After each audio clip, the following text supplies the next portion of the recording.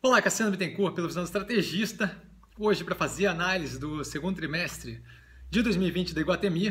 Tá? A empresa tem uma operação de gestão de propriedade, basicamente shopping, alguma propriedade mista ali, muito voltada para alta renda. E a gente tem o acompanhamento da tese como um todo aí na descrição. Então, quem não conhece muito bem a empresa, quiser ver como é que foi a evolução, porque é uma empresa que eu acompanho há algum tempo, quiser ver como está a evolução desse ativo desde o começo do acompanhamento, está aqui embaixo na descrição. A gente tem os vídeos, é... inclusive vou comentar mais para frente aí que é importante ver o último, tá? Sem grandes novidades nesse, nesse trimestre, o resultado aí veio bem negativo.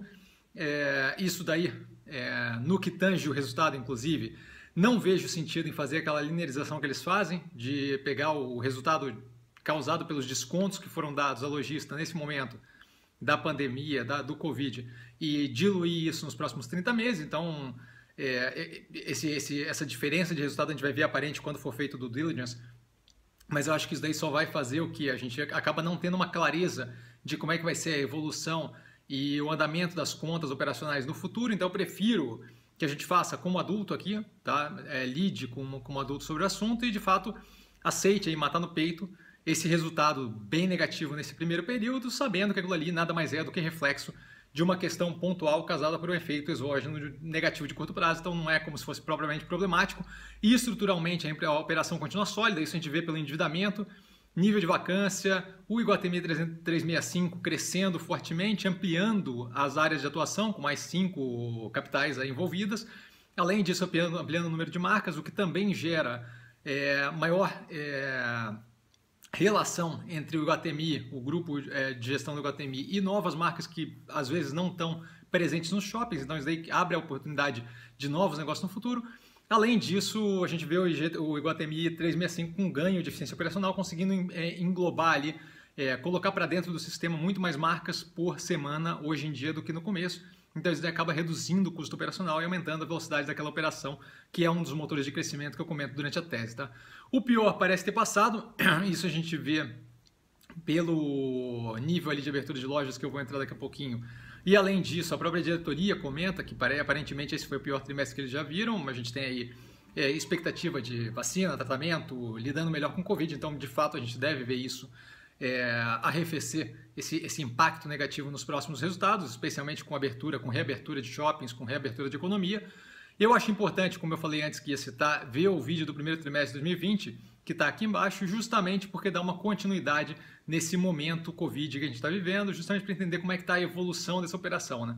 especialmente com o quadro que a gente vai ver de abertura de lojas, você consegue ter ali uma noção de que até março, muito aberto o, as operações de shopping, aí março, metade de março para frente começa de fato, final de março para frente começa de fato a, a, gente ter um reflexo bem negativo aí na operação, tá?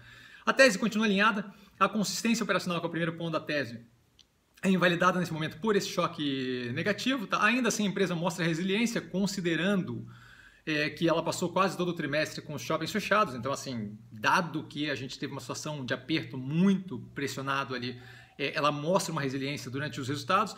Os novos motores de crescimento, como segundo ponto, são questões que estão aí indo numa direção muito positiva. Drive-thru, iFood é, ajudando ali a praça de alimentação a manter um nível de faturamento, né, as praças de alimentação dos shoppings em geral. O Iguatemi 365, como comentado, expandindo para cinco novas capitais, com ganho de capacidade operacional e expondo novos mercados a marcas indisponíveis anteriormente. É, parte dessas novas capitais, por exemplo, não tinham acesso a, algumas das marcas que você tem disponíveis nos Iguatemis, é, nos shoppings Iguatemi em São Paulo, e aí você acaba, através do Iguatemi 365, trazendo essa possibilidade de receber em casa marcas que ele não tem, por exemplo, na cidade, é uma marca que não está presente, por exemplo, em Curitiba, no Recife, por aí vai, você acaba tendo essa possibilidade de acessar aquele mercado sem ter que visitar São Paulo para fazer aquela compra, então super positivo. E como último ponto, de direcionamento estratégico, também sem muita novidade, eles ainda estão ali na construção do Torre e Galeria, e a gente vai ver justamente o desenvolvimento disso à medida que as coisas vão acontecendo e que o mundo vai voltando a uma certa normalidade. Né? Então, passando aí para um due diligence, a gente vê o quadro de processo de reabertura aí na tela, justamente como comentado, a partir de março ali a gente vê um fechamento generalizado de todos os shopping centers, tá? o retorno está começando a ser gradual à, à normalidade, a gente já tem algumas operações ali operando já em 70% da capacidade, é, total, a gente vê que grande parte do segundo trimestre foi afetado aí pelo fechamento de, de shopping center, então a gente nada mais natural do que ver esse reflexo super negativo no resultado ainda assim, acho que o reflexo ainda foi um tanto quanto mitigado ali pela empresa, tá?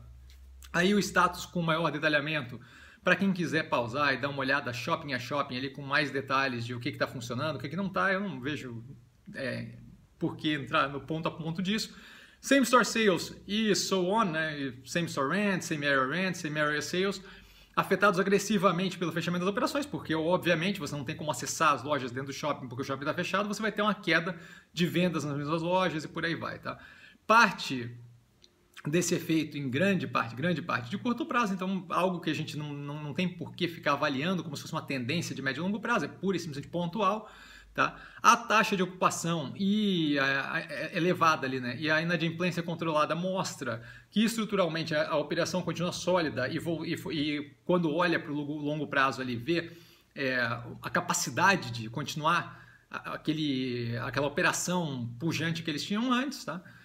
É, a gente olha os números da operação sem linearização e ali no meio, na coluna do meio, ali a gente consegue ver justamente os efeitos dessa linearização, né, que, que deveriam ser é, repassados aí no resultado pouquinho a pouquinho, eu prefiro dar tudo numa raquetada só, é, fica mais realista e eu não tenho necessidade de ficar diluindo resultado negativo por efeito pontual, exógeno negativo de curto prazo ad eterno, tá?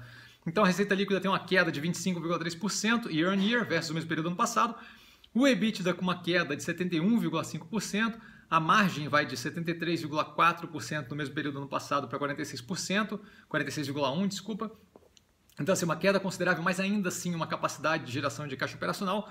Funds from Operation, né, geração de fluxo de caixa ali, queda de 67,85%, a margem de 48,8% para 34,6%, ainda assim gerando fluxo de caixa é, a operação. Então, negativo, sim, super negativo. Pontual, tudo fechado, a gente ainda assim tem uma capacidade da empresa se manter gerando caixa o lucro líquido vai de 60 milhões de lucro líquido para um prejuízo líquido de 7,8 milhões nesse período.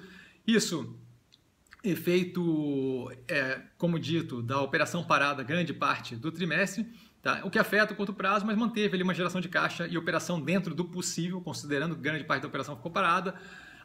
Isso acaba afastando o risco ali de inadimplência, de solvência, então a empresa é, ainda consegue ali ter um, é uma tranquilidade nesse curto prazo que não preocupa propriamente como operação, simplesmente um, um, um evento aí pontual muito negativo que não tende a se alastrar para a operação estruturalmente como um todo, tá? Então, estruturalmente, como eu disse, palavra da, do, do, dia hoje, estruturalmente, a operação se mantém sólida. Eu não vou entrar nos pormenores aqui de aumento de custo, despesa, como é que eles fizeram para lidar com isso, porque é o one-off, é uma vez que isso daqui deve acontecer, então não tem por que a gente ficar analisando ali ponto a ponto de cada um dos, das coisas, se daqui a pouco não vai ter qualquer relevância. Tá? A alavancagem continua ok, tem uma subida aí para 2,66 vezes dívida líquida sobre EBITDA, isso em grande parte pela redução do EBITDA causada aí pelo Covid, tá? o EBITDA dos últimos 12 meses, é, era 2,47 vezes no período passado, a disponibilidade cobre com folga até o final de 2022, então a gente não tem problema de aperto de responsabilidade ou compromisso financeiro no curto prazo, apesar do aumento do percentual do custo em CDI né, para 150,5%, que assusta na primeira vista, o custo efetivo cai de 4,3% para 3,3% do período passado para esse período agora como custo médio da dívida. Então a gente tem aí sim um aumento como percentual do CDI, mas é porque o CDI vem reduzindo paulatinamente. Então a gente tem uma redução do custo geral para a dívida, o que é positivo, a empresa consegue é, carregar isso longo prazo com um baixo custo, aí, o que garante justamente solvência e liquidez. A empresa mostrou no período passado, nesse período, que a dificuldade ela tem zero ali de levantar capital, se for o caso, para justamente tranquilizar é, solvência, visando aí passar por esse momento de um pouco mais de pressão no curto prazo e indo para o longo. Né? A minha posição está aqui do lado, volto a reforçar, não é o investimento mais descontado do mundo, mas a operação é bem sólida, os clientes são mais estáveis, tá? E o público-alvo é mais resiliente. Público-alvo de luxo, mais alta renda, tende a ter uma perda de massa salarial menor. Os clientes, grandes redes de loja, operações de luxo e por aí vai, são, são, tem aí uma capacidade maior de aguentar esse tipo de período. O longo prazo está bem alinhado, especialmente com drivers de crescimento, especialmente com o Guatemi 365, e eu gosto da operação para compor portfólio, é uma forma de se expor ao varejo um pouco protegido pela faixa de renda que pega, então é, vejo aí como muito interessante, a gente viu que reagiu super bem hoje, mesmo com esse resultado pontual muito negativo, acredito eu que em grande parte pela, por, por, ter dado a chance de vislumbrar um médio e longo prazo aí muito positivo para a operação, tá? Dúvida? Eu estou sempre no Instagram, arroba investir com sim. Só ir lá falar comigo, responde direct message sem nenhum problema, sempre converso com o pessoal. E vale lembrar que quem aprende a pensar bolsa opera como mero detalhe. Até a próxima análise.